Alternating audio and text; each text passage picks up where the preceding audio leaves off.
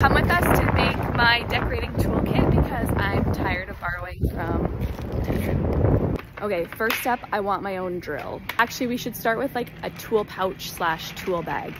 Tool purse. This is not sponsored by Lowe's, but they're always really good to us. I feel like I'd be fine with just the smaller drill. Small. It's heavy. Hammer time.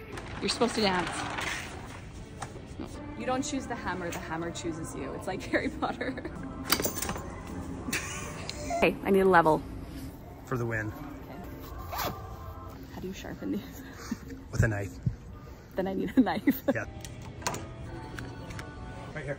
Probably just a little one, eh? Picture hanging kit and wire. They have green for hanging garland and stuff.